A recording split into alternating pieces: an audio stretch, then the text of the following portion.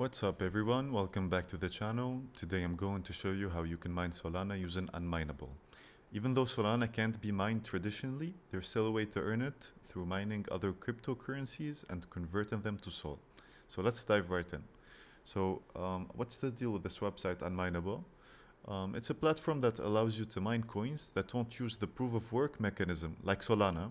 So by mining a supported coin like uh, Ethereum, Ravencoin or Monero, uh, it automatically converts your earnings into Solana. So that's pretty cool because uh, you're you're basically just earn uh, like you're mining Solana without really mining Solana. You know, it's pretty funny. So uh, first things first, you'll need the mining software. So Unmineable has its own miner, which makes this process super simple. So we just head over to the website, click here. It's unmineable.com. I'll put it in the description too. You just click on the token you want to mine. So in our case, it's Solana. You press on get started here. And then you have two choices. Either you download the, mine, the no miner files included or the miner files are included. So in this case, uh, it's a simple process if you don't want to do it manually and look for miner files. So we're just going to download it instantly. Uh, continue to this website. So it says unverified download blocked. So uh, in the case of using uh, mining software, it, uh, your browser or your Windows will always have an issue. It will detect it as a virus. Uh, in my case, I've used it personally. There are no issues. It's not a virus. You're just gonna make money mining with your GPU. It's not gonna get you hacked or anything. So do this at your own will. But I can confirm it's it's not a hack or it's not risky. You know. So you just press on download here. It's gonna download for a bit. I already have it installed, so I'm just gonna open it here. So we go back here, we select the token. As we said, we're gonna be mining Solana. So we just type Solana. We put in our address. The, this is the address that you're gonna be receiving the money on. So double, triple check the address so you don't send your money to someone else. Make sure it's correct. There are no like you can't uh, refund this money so please make sure before you put it in. In my case i put in my phantom wallet address. You can put in your coinbase or solflare etc so uh, put in your wallet.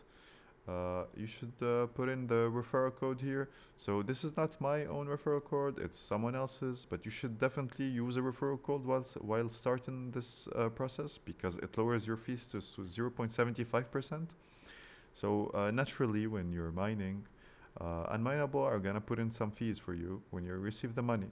So you should put in a referral code so it reduces that even more. So we press on start, we go to settings, you're gonna be selecting, you're either gonna be mining using your GPU or CPU. So in my case, I'm using my GPU. And then you should uh, double check how much VRAM you have on your GPU. I have 6 gigabits, so that's more than enough. So I click here. Uh, then we're gonna select the GPU mining algorithm. In my case, I'm gonna be using Kawpow. Do your own research, pick one that's best for you. In my case, it's Kawpow, and it's also SRB miner multi. So I'm just gonna keep it like that. Select your your mining intensity. So e you can either set it to normal, so it's automatic, or you put in custom commands here. The commands are found here. So if you want to uh, make your GPU work even harder, you should look at these commands and, uh, and change it manually here. So I'm just gonna leave it at normal. These are by default. If you want to change them, go ahead and then you press on save and restart. That's it. So as you can see guys, I've been mining for a couple of hours here and you can already tell that my balance is up. So I have 0.0002 and this has been done in like 10 hours. And so as you can see, the information listed here we already talked about. But uh, you can see that the local hash rate for me is 11.mh and the effective hash rate is 14.mh. So when you first uh, when you first click on start and you leave your PC mine for a bit, you're gonna notice that the local hash rate keeps updating, but the effective one stays at zero. That's completely normal, guys. You should, as you can tell, they, they even write it here, it can take some minutes to show up and up to an hour. So you should wait a bit to see if your effective hash rate is changing.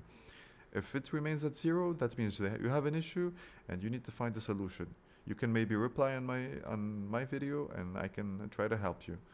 So as you can see, my both uh, both uh, local hash rate and effective hash rate are changing for me, so it's working fine. So my GPU is completely working, it's mining for me. uh, you, you can also click here instead of watching your balance on the application you can click here and it will open a website you can see your balance and how much Solana you have made in the past five minutes.